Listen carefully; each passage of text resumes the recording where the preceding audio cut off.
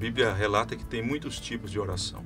E eu quero partilhar com você sobre uma oração e dois pedidos. Os dois pedidos envolvem a audição e a visão. Quero ouvir, eu quero ouvir pela manhã da tua graça. Eu quero que o Senhor me mostre o caminho por onde eu devo andar. É tão necessário, tão importante ouvir, iniciar o dia, ouvindo acerca da graça de Deus, do próprio Deus, porque isso faz com que compreendamos o nosso verdadeiro valor para Deus. Ouvir acerca da graça de Deus logo cedo é saber que Deus nos ama, que Deus nos ama a despeito dos nossos deméritos. Deus nos ama porque nos escolheu amar.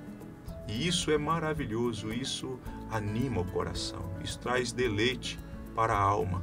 Por isso é importante pedir ao Senhor: Eu quero ouvir pela manhã da tua graça. Mas também existe um segundo pedido: mostra-me o caminho por onde eu devo andar. Às vezes nós ficamos confusos nas encruzilhadas da vida, ficamos indecisos a qual caminho trilhar. Se devemos ir para a direita, para a esquerda, se devemos seguir em frente ou se devemos recuar. Deus pode apontar a você o caminho no qual você deve andar. Você precisa reconhecer que você tem a necessidade de ouvir acerca da graça e você também precisa revelar que você tem necessidade de conhecer o caminho de Deus para você trilhar. Mas não basta demonstrar a necessidade, é preciso também desejar isso. Eu quero ouvir da tua graça pela manhã. Eu quero conhecer o caminho no qual eu devo andar.